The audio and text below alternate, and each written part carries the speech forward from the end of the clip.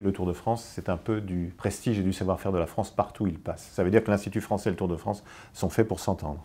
Je pense à la Corée, avec l'année France-Corée, je pense euh, à cette course cycliste organisée avec le vainqueur du Tour de France, Christopher Froome, mais aussi avec un village français, avec des baguettes, avec l'aligot fait par un chef avéronnais installé en Corée. Voilà.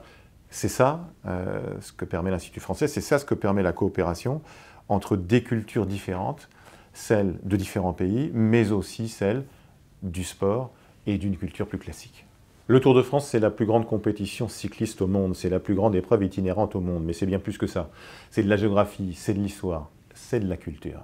C'est aussi la défense de notre langue magnifique, la langue française, puisqu'il y aura la dictée du Tour de France euh, au printemps dans une vingtaine de villes-étapes du Tour, et nous pourrons donc vivre ensemble les cultures.